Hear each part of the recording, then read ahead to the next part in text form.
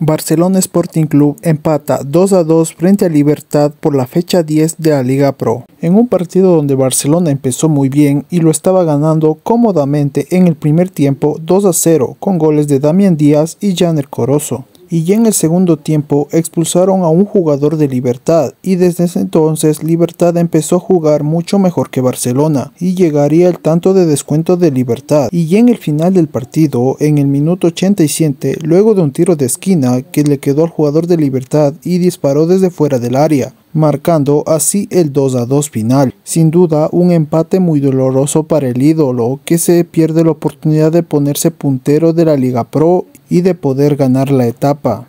El próximo partido de Barcelona será frente a Lorense el próximo viernes y si quiere seguir en pelea por la etapa tendrá que sacar los tres puntos de local.